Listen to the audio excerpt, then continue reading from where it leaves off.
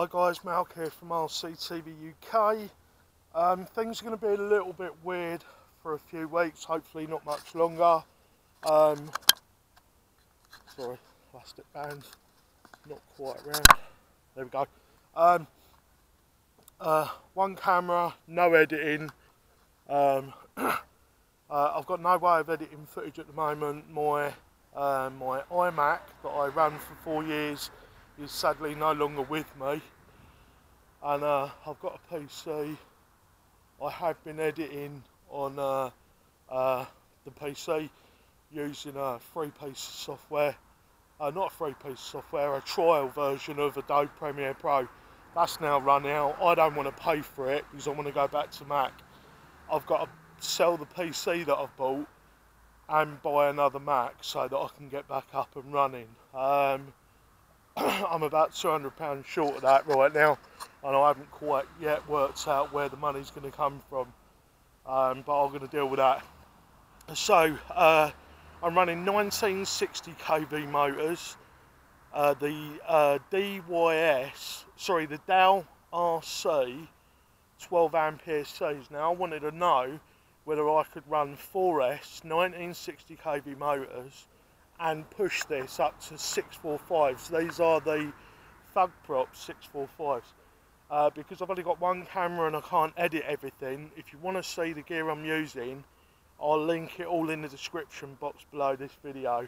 So basically, if you fall out of the sky in this video, then the ESCs couldn't cope. That's what's on test here. Uh, and obviously I'm testing the concept of 6 inch on my ZMR 250 version 2. Uh, Metal Danny and a lot of the other guys are using the 1960 kVs on 6 inch and I thought I'd give it a go. So here we are. Um, I'm going to crack on with it because like I say I can't chop any of this out. Please bear with me a sec and I'll get you in the air.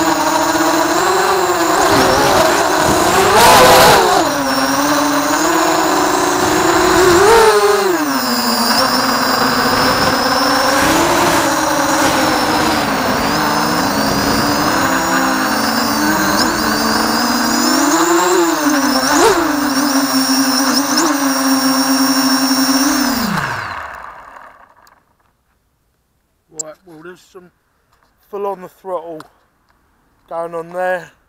As you saw I nearly stacked it, I had to punch out. So, uh, sorry guys, you can't see me. Um, I am just feeling for temperature. Now the air ESCs are quite well insulated on this. There's heat shrink around them. And uh, insulating tape as well. Mm. They seem to be running cool, right. Um, no sync issues there, everything looks alright. Uh, without further ado, I'm going to get you back in the air, finish this flight off. Um, not going to run it massively, probably going to run it for about three minutes in total. So let's get you back in the air.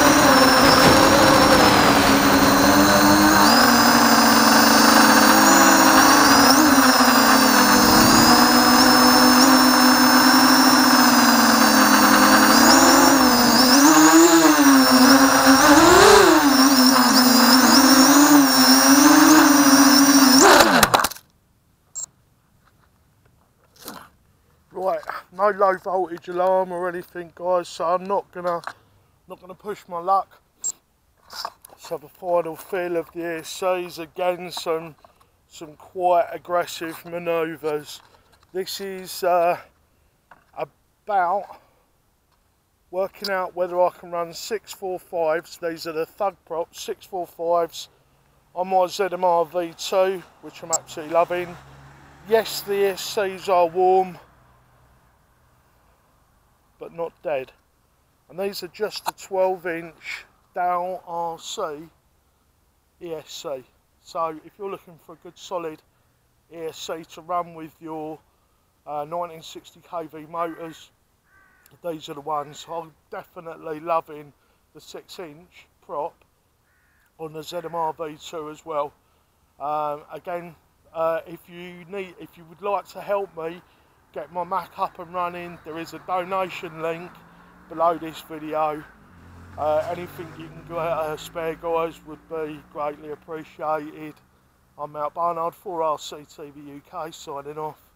Bye for now.